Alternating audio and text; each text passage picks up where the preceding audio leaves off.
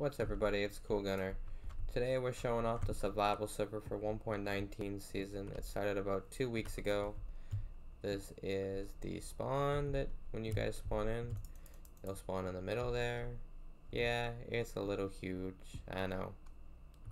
Uh, this main area was hand built by our my head admin right here.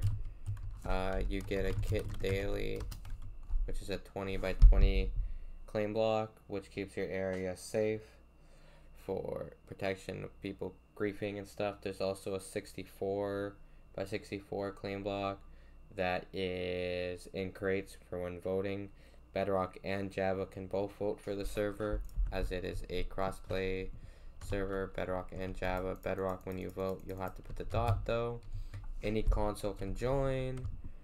Uh, so pretty much when you spawn in, there's four ways uh, you pretty much just walk out. There's four different ways out.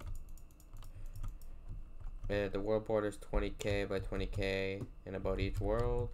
Warp crates, you'll walk up to the warp crates where then you can open up the crate keys. Viable crate keys, which you can also win from there.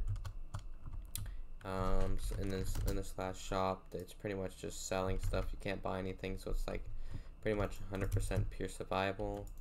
Gems will be coming soon as I'm working on them. And I hope to see you guys in the server and enjoy it as much as I am. I'm going to be working on Skyblock 2 the coming soon. Peace out.